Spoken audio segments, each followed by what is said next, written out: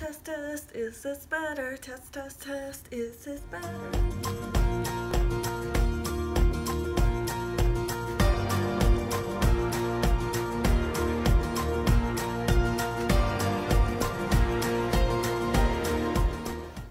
Hi there. Um, so I was inspired to make a Christmas sweatshirt based on my favorite holiday movie. You might be familiar with it. It's called Mean Girls. Um, so I'm gonna go ahead and show you how I crafted my new favorite Christmas sweatshirt and maybe you can try it at home too. First you want to gather your materials. You'll need to start with a plain sweatshirt of your choosing. I printed out my phrase in a font that I liked online called Montserrat Alternates, and then I laid out my phrase to make sure that it would look good on my shirt.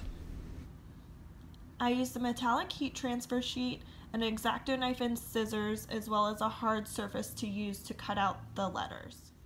I used my printed out sheet as a stencil to use to cut out the metallic heat transfer.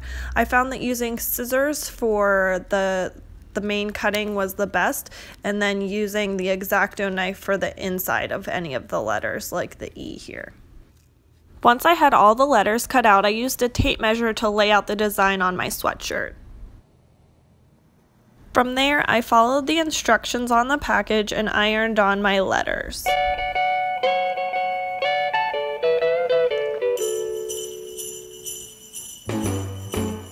Jingle bell, jingle bell, jingle bell rock. Jingle bells swing and jingle bells ring.